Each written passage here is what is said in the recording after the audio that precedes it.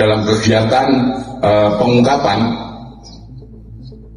telah berhasil mengamankan 675 unit kendaraan bermotor dan dokumen pendukung adanya transaksi pengiriman sebanyak 20.000 unit sepeda motor rentang waktu Februari 2021 sampai 2024.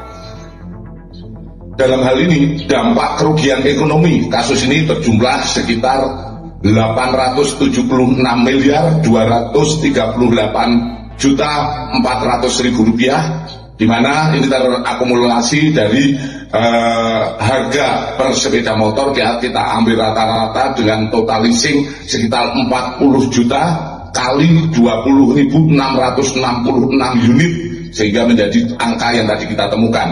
Di samping itu kita me melakukan akumulasi potensi kerugian negara. Nilai pajak per sepeda motor yaitu kita ambil rata-rata 800 ribu kali 266 yaitu sekitar 49 miliar 598 ribu 400 ribu.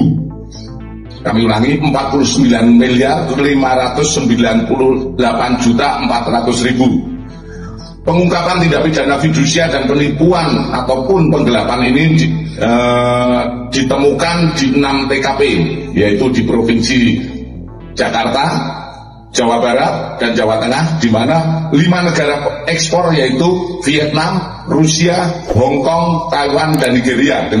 Justru operandi yang dilakukan para penadah yaitu melakukan pemesanan kendaraan bermotor kepada perantara. Selanjutnya perantara mencari debitur untuk melakukan kredit motor di dealer-dealer seluruh Pulau Jawa dengan menggunakan identitas debitur dengan timbangan.